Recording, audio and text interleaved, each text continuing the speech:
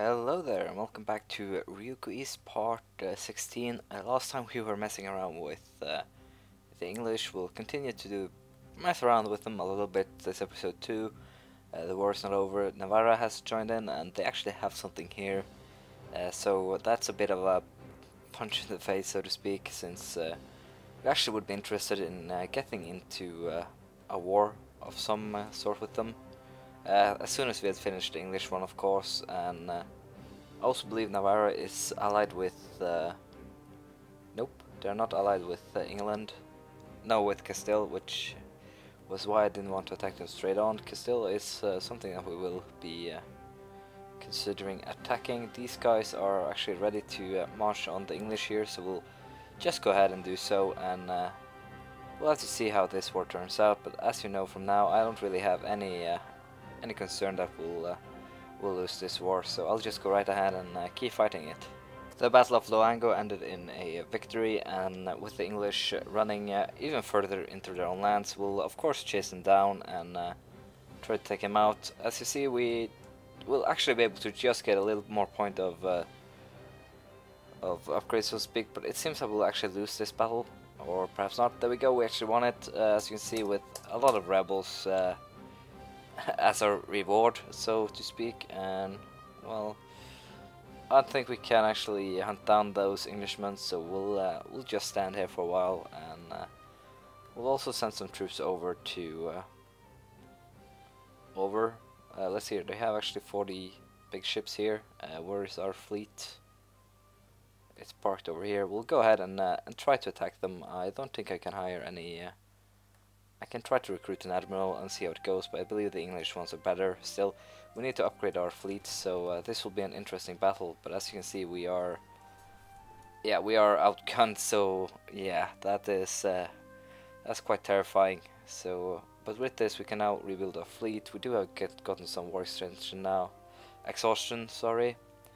So we might want to uh, to try and deal with that. But for now, we'll uh, We'll have to be careful on the seas. We'll probably do a uh, fleet over here. Uh, we still should probably try to get a deal from the Hansas. There we go. We actually got uh, what we wanted. A peace deal, or so to speak, where, uh, or sorry, a military access deal where we can actually uh, now use their uh, their land as a harbor, more or less.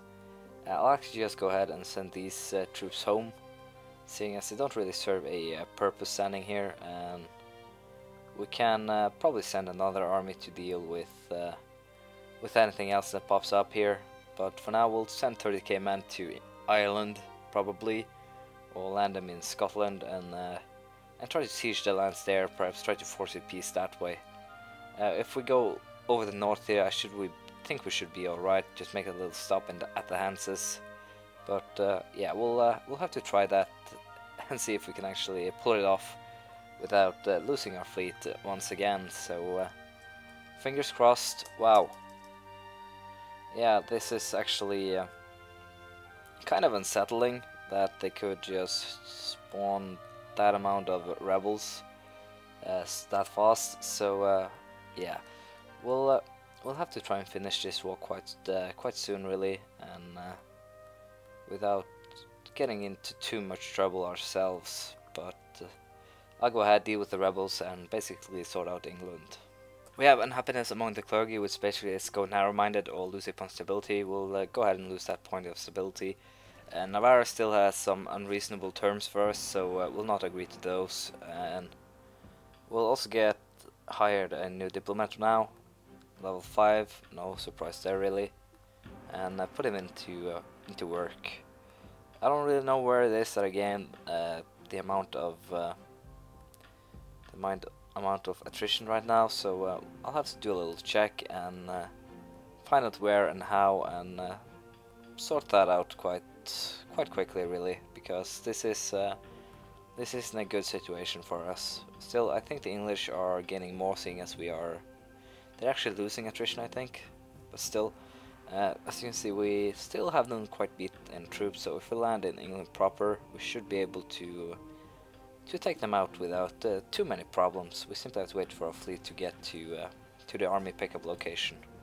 It seems the English actually dropped up some troops up here, but still we have our own fleet, so we should be able to counter it. It's just one K-man, and it's actually just a single flute. But still, uh, we'll go ahead, drop our army off here, and have them deal with uh, deal with these uh, English bastards more or less. Uh, yeah, we'll send.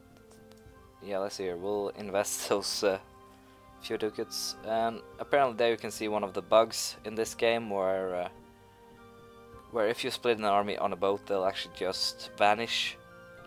Uh, just like that, boom, gone. So that is kind of bad. A couple more rebels. We uh, we'll just put we'll just pick up these troops, deal with the the massive English army here, and once we have, we'll uh, we'll probably just get back. We actually got a, uh, as you can see, a uh, a border dispute on Huron. Uh, not the best place. Could have gotten one in Africa. Would be more beneficial.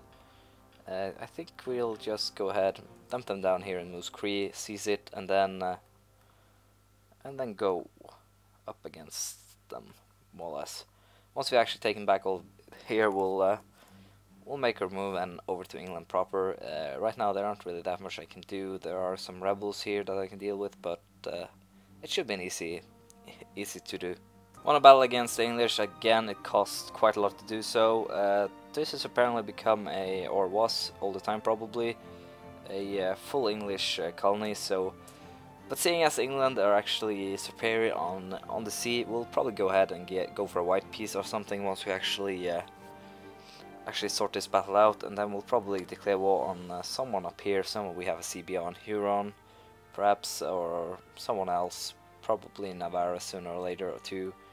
But uh, for now, we'll just go ahead and declare peace. Uh, lower, lower, or uh, our uh, we'll keep this guy for his administrative skill for now. Uh, uh, simply to lower our war exhaustion again.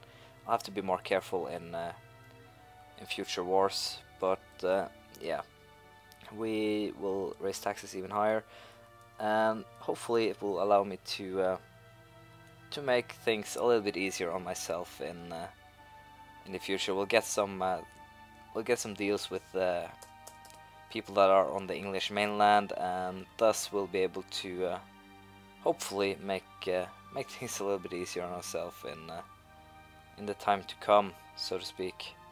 Still rebels in Africa, which should be quite easily dealt with. We'll probably declare war on Tripoli, simply to make sure that we don't stop burning uh, infamy. And other than that, there aren't really that much we want to do right now. We want to take this one, then make a favorable peace with uh, the English, we just lost 11k troops again. Um, as you can see, we will beat them in battle, but the problem is on the sea, so if we are lucky, we will be able to uh, sneak our armies to uh, to their neighbors uh, before we actually uh, before we actually do something. Let's see if they will actually accept giving up these lands. Nope. They will not. Do we actually have the religious liberation that we actually wanted to use in the first place? Cannot use that either. Will they accept a white peace? Nope. But they'll probably send us one, yeah. So, uh, although this war has been a big waste of time, money, manpower, everything, we'll simply have to go for a white peace now. And uh, fight it smarter next time. We'll uh, place some troops over here. We'll start bribing Cornwall and uh, yeah, and Leinster here. They're both vassals, though I think. No, they're in their sphere of influence. But still, we'll start bribing them uh, simply to uh, to gain a landing place for our troops once they actually get over there. We'll also probably declare war on uh, these guys to uh, to just have some infamy to burn.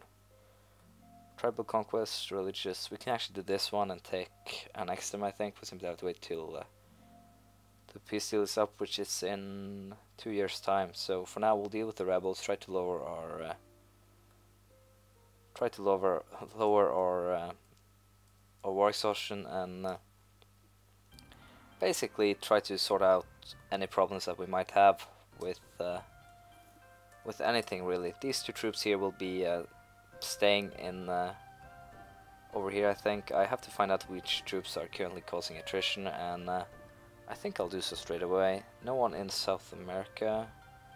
There are a couple ones here, but that's basically just rebel hunters I think. 24k men. These guys. Uh,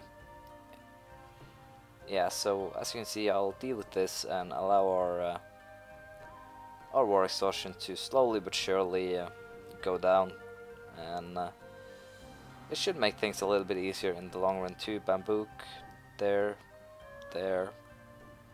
As you can see all of them are basically uh, staying in good lands. Should probably move those guys. No, we'll let them stay and just put a leader on that one. See, I think they'll be able to stay without, so we'll just put a leader here. There we go. And other than that, there aren't really that much we want to do. We will deal with these rebels that are over here and on Havana. But other than that, there aren't really that much we can do now except for wait till uh, war exhaustion turns down a little bit. These guys will uh, will stay up here for uh, for next war against England, basically, hopefully. Uh, so yeah, things will be interesting. We'll be building uh, a bunch of forts, I think. We have some, yeah, we have some fort building to do, as you can see and I should also probably focus on naval for now simply to uh, no wait the stability we need to get stability up to plus 3 again let's see here uh, six and a half thousand it will take a little while or a little bit one third of a year and uh, once we have stability back up we'll uh, we'll try to make another attempt and see how it goes border friction against Morocco will probably be uh, be used and uh, we'll probably act on it as I said and uh, take those two provinces for uh, for cheap. Other than that we are more or less being having dealt with most of our rebels right now. Some of the rebels like this one's are actually taking some time to get to which gives some opportunity. We did lose a bunch of ships as you saw also last time. We will wait a little bit with uh, rebuilding them. As you can see build times are quite steep right now but still we'll start with one here one there and simply slowly try to rebuild our fleet again. But as I said, we'll move on Morocco right now and do a border friction. They're allied with Kanem-Borno. uh, so it's it's not too great, but still, I think they'll get Trucebreaker if they actually act on that, and they'll still be uh, they'll still be uh, they'll still be enemies afterwards, so it doesn't really matter. We'll move these guys to to Sousse, and then we'll uh, We'll attack them. Stability increase. Uh, yeah, we wanted to improve our naval tech simply to uh, to get better ships. We'll get it to level 22, I think, and or 23. I'll have to see. We'll probably get it to 21 or 22, depending on what gives us. Uh, I think the galleon is the next uh, next level of uh, of high-end ships, so to speak battleships. Let's see here, Caravel, and then we get probably it probably succeed the bark. I don't know. We'll uh, we'll have to see. But after that, we'll go for uh, we'll go for government tech. As I said, we wanted to do a war against Morocco. I just forgot to actually uh, declare it. Still, there we go. War declared. We are uh, I think we should win this without too many problems. They have higher, they have about the same level of war exhaustion, but still, if we just move our troops fast in, we should be able to siege and win quite fast. Did not really expect Kanem Bornu to uh, join in. And Tess became the new war leader, which is kind of a surprise, I guess. Still, I find it fun though, though how some particular lists are stronger than others. But uh, I'll go ahead win this war, and uh, then we'll see what we'll do after that. Naval Tech 17 been reached, which gives more morale, which is basically something that we were lacking against the... Uh, we'll accept the Kanem Bornu one, we'll decline the other one. Uh, morale that we were lacking on the seas against England. Uh, we have war for these two, I think, so it should be alright. I'm just trying to hunt down and destroy a one of their armies here. Uh, Mentes probably wants to make a peace, but will not uh, accept that.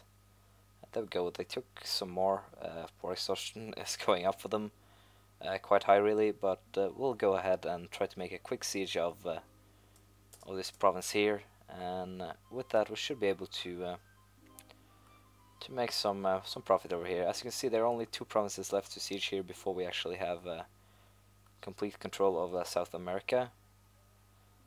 And well, we'll actually go ahead and pay that. It's just a little. It doesn't really matter. We're still making quite a lot of money a month, uh, a year. Sorry. Uh, no, we'll decline that one too. And uh, well, what we basically want to do now is fight the war. I actually sent these guys through the desert. I just realized. Apparently, forgot that I didn't have a uh, a deal with uh, with uh, the English that would have allowed me to uh, to travel through the lands. My bad. Uh, still, hopefully I'll be able to destroy these rebels and uh, basically we'll be fighting this war and try to win it without too, too much fuss. Otherwise, there aren't really that much we want to do right now. We are basically set to conquer Africa sooner or later. With uh, my plan to move against England, it simply requires some, requires some time and uh, patience, rebuild my uh, rebuild my fleet and so forth. But uh, in the end, I'm pretty sure that we'll be able to take down England if we just move into the mainland, pluck, pluck down five of the provinces here. I'm pretty sure that we'll weaken them considerably, even if we just take Ireland, for example. But I'll probably go in and take Norfolk, Essex, Oxfordshire, and uh, these five here around London simply to create problem for me. We also have uh, this Casus Belli still, so uh, hopefully it will uh, it will hold out a couple more years. We'll also simply uh, send a warning, so uh, we can be called in earlier because I believe I'll place those troops in those lands pretty soon. If uh, if not for the English troops, that will slow me down. As you can see, the building time for the ships is going down too, so we'll simply have to wait all in all, even though the war with England failed uh, horribly, we uh, we're looking quite good. Really, we're in my eyes, we're looking set to uh, to move into new lands, to try to make some uh, progress for ourselves, and uh, slowly but surely take over Africa and then the rest of the world. So. Uh, thank you for watching this episode. Please leave a comment, some praise, criticism, anything really. Talk about how I messed up against England in a naval battle that really came uh, 50 years before its time. And uh, I'll see you next time. Bye.